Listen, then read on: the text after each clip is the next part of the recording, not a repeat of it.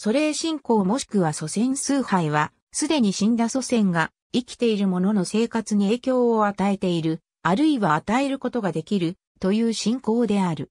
日本では、社会学分野で先祖祭祀の用語が定着している。明治以降1950年代頃までは、祖先崇拝が多く使用された。こうした先祖崇拝というのは、例えば、アフリカ、マダガスカル、東アジアなどで行われている。それに対して、キリスト教やイスラム教がしっかりと根付いた地域では、祖先崇拝はほとんど行われていないと考えてよい。例えばイタリアの地でも古代ローマ時代まで遡れば、先祖崇拝というのは言っている人たちがいたようだが、キリスト教が定着してからは行われていない。中国、朝鮮、日本など、東北アジアのものが特に有名であるが、ズールー人など世界的にも見られる。中国では祖先崇拝と呼ばれ、生命説などの習慣がある。日本では学問的には祖先崇拝の名称が用いられているほか、祖霊信仰という名称も用いられている。先進国では過去に存在しても一神教などに置き換わられて超越されていることが一般的とされる。先祖を社会的に意味付けする社会においても、生物学的、遺伝的に見て、つながりのある先行者がすべて先祖とみなされているわけでは必ずしもない。特定のタイプ、カテゴリーの人間を先祖としている。祖先を崇拝する社会において先祖とされる人は、その社会の親族構造と関連性がある。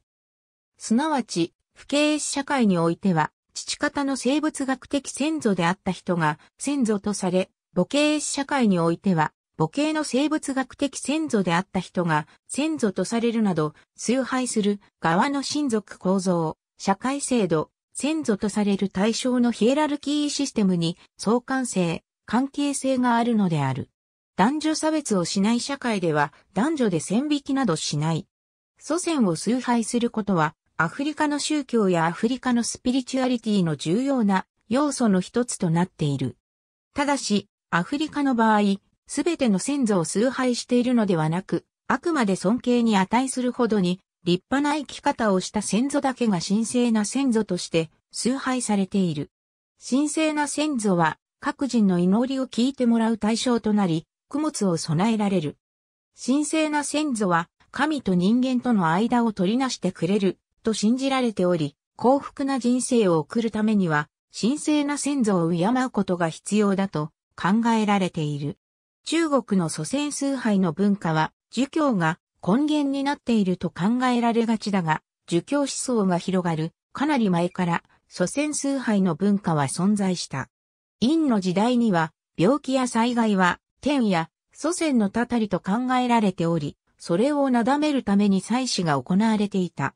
また、陰は強固な不敬社会であり、祖先を敬うことは、社会秩序の維持のためにも重要であったと考えられている。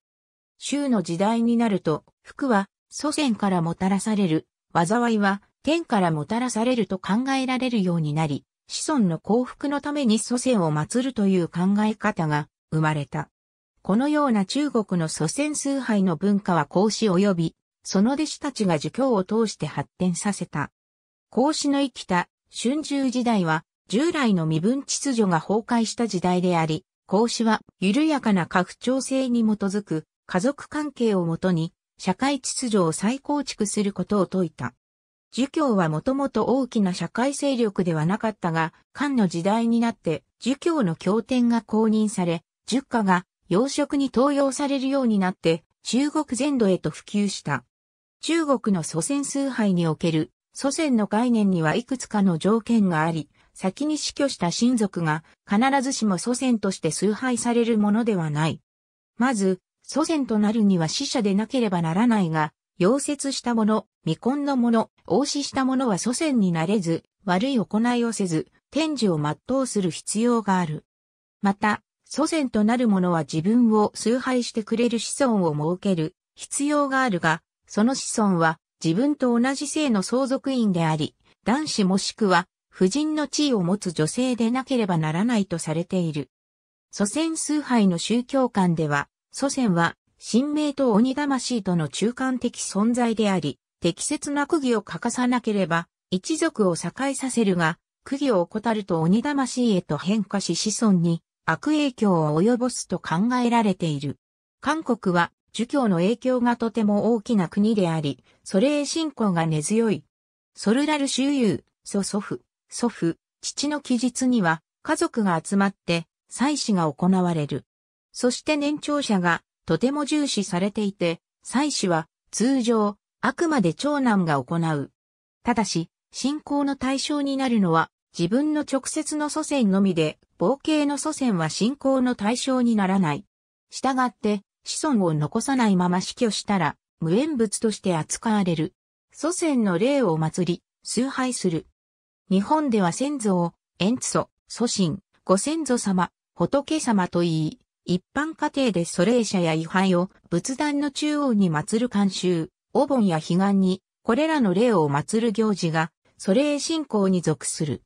なお、以下は主に、日本本土における、祖霊信仰について解説するが、奄美、琉球の地域における、祖霊信仰については、琉球神道の功を参照のこと。死者が出ると、初7日、49日と法要を行って供養し、さらに1年後に一周期、2年後に3回期、6年後に7回期と法要を行う。その後、33回期を迎えると、弔い上げといって、このような法要を打ち切る。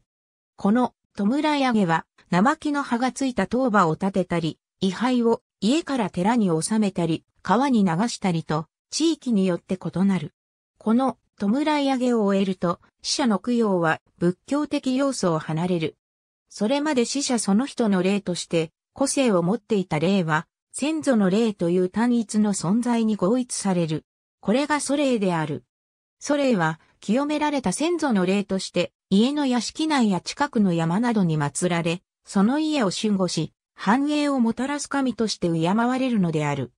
前述の通り、先祖の霊を、仏様、神様、ご先祖様と呼ぶことには、このような意味がある。祖霊信仰は、前述のように、盆や彼岸の行事などの形で、日本全国に普通に見られる信仰である。縄文時代から環状列石による祖先崇拝を中心とした祭祀、儀礼が行われていた。祖霊信仰のような祖先崇拝は日本を除いては中国や太平洋地域の一部の限られた場所にしか見ることしかできない。夏の7月15日を中心に行われるお盆の行事は、祖先の霊を祀る行事を言う。古くからインドで7月15日を中心に、死者の苦悩を払い、死者の霊を慰め供養する、裏盆会の略語であるとされたが、実際に日本におけるお盆の行事は、それまでの日本の祖霊信仰と集合して発生した行事だと考えられている。また、春と秋に行われる彼岸という行事も、もともと浄土思想に由来し、西方浄土を希求する中国の念仏行事であったものが日本仏教において先祖崇拝の行事になった。このような経緯からも日本における祖霊信仰という土壌を考えることができる。また、先祖の霊を祖霊者という社に祀る場合もある。一般の家に神徒団、神棚や祭壇を設けて先祖を祀っている場合も多く見られる。祖霊信仰に関連する事項として、民族の両母性について触れる。両母性とは、死者が出た時に二つの墓所を作ることである。かつては遺体を埋葬する墓としての梅墓と呼ばれる墓と、自分の家の近くや寺院内に建てる参り墓、詣で墓を作ることがあった。遺体を直接埋葬する梅墓、捨て墓は人が近づかない山桶や野添に作られ、埋められた遺体や石塔は、時が経つにつれ荒れ果て不明になる。この埋め墓、捨て墓は、そこ、自体を死者供養のための墓所としているわけではないので、長く保存することを目的としていない。一方の参り墓、詣墓は、家の近くや、田畑、寺院など山系に便利な場所に建てられることが多い。こちらの墓こそが長く死者供養をすることを目的とした墓所になる。こうして先祖の霊を居住地の近くに配置し、供養し、家の安泰を願うことも、それへ信仰のうちの一つと言っていい。また、近世に至ると、直接遺体を葬った場所に墓所を建てることも多くなった。祖霊信仰に関連する事項では、やはり墓所について屋敷墓の存在が挙げられる。屋敷墓は自分の屋敷の中に墓を設けることである。資料や遺構で確認されるのは中世紀である。この時代の母性や創造習慣についての詳細は地域や身分階級によって異なるから一概には言えない面もあるが、屋敷の中に死者を葬る特殊な母性があるため、屋敷神としての先祖を家の中に祀った、それへ信仰の一種と考えることができる。ありがとうございます。